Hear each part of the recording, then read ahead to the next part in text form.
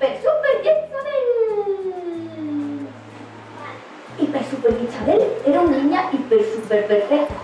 En el cole sacaba puros dieces. Lengua, matemáticas, inglés, historia. Hasta en el recreo sacaba puros dieces. Cuando los demás chicos salían a jugar le decían Isabel, Isabel, ven con nosotros a, a, andar en bici. No puedo. Tengo que hacer la tarea del mes. Isabel, Isabel, ven con nosotros a, a, a jugar al balón. No puedo. Se me romperían las gafas.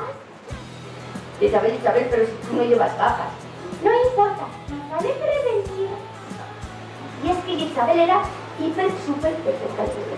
Presumía todas las horas de pararse de cabeza. Perfecto. Hacer el split. Perfecto. Y del otro lado, que siempre sale peor, también. Bailes regionales. Natación. Natación sincronizada.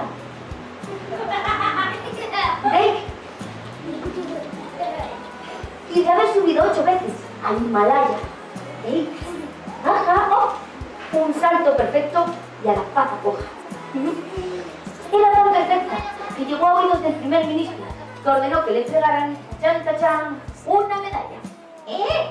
¿Tú? La medalla de mierda, ahí la mata. Le dije, señora, para contar el cuento, a ver.